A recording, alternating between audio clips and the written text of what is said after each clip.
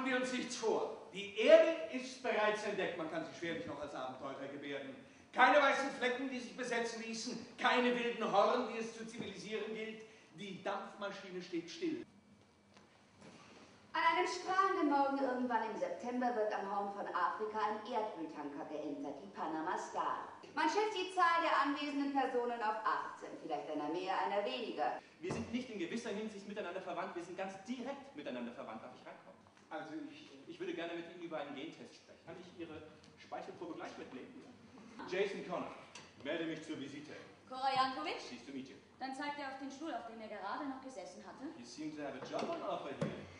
Oh no, beschäftigen eigentlich keine Söldner in dieser Firma. Schiffsbegleitservice. I read that on your website. Ja, well, das bedeutet, unsere Angestellten sind ausgebildet in den Bereichen der Konfliktmediation und Deeskalation.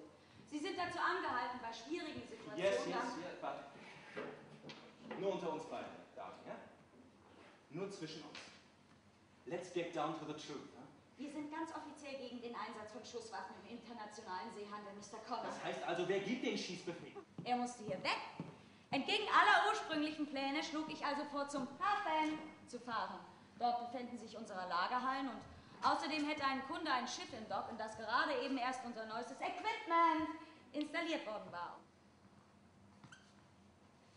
Ein Whisky? Wie? Etwa von dem guten, den ich letztes Jahr aus Schottland mitgebracht habe? Hatschi! No thanks. Sit down, darling, right here, next to me. Ich schenkte also nur mir großzügig ein und ließ mich neben ihm aufs Sofa fallen. I have to talk to you. Ach, reden. Ich rückte ein Stück näher.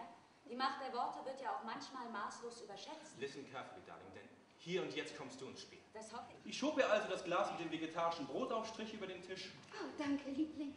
Das ist wirklich nett. Du hast daran gedacht, für mich im Reformhaus vorbeizugehen. Wirklich nett. Und am nächsten Tag kontaktierten wir unsere Anwälte.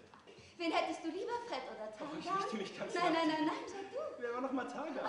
Wir waren zusammen Skifahren in Fiss. Erinnere mich nicht. Ich erinnere mich, Targan. Seine Kanzlei ist ganz direkt in der Nähe meiner neuen Wohnung. Du hast schon eine neue Nur ein Wohnung? kleines, ausgebautes Dachgeschoss. Weißt du, meine Maklerin? Du hast schon eine Maklerin? Bitte, setz mich nicht schon wieder emotional unter Druck. Hallo, ich bin die neue Nachbarin von oben. Wo steckt er? Im Duty Free Shop? Oder mit Flugangst und einer Pillenschachtel auf der Toilette? Also ich weiß nicht, wie der zustande kommt. das Ohne ist ihn können wir nicht starten. Ich werde ihn noch ein letztes Mal Das durchrufen ist lassen. nicht nötig. Er wird nicht kommen. Er lebt nicht. Er hat niemals existiert. Vor einer halben Stunde war er noch allerbester Gesundheit. Die Videokameras beweisen das.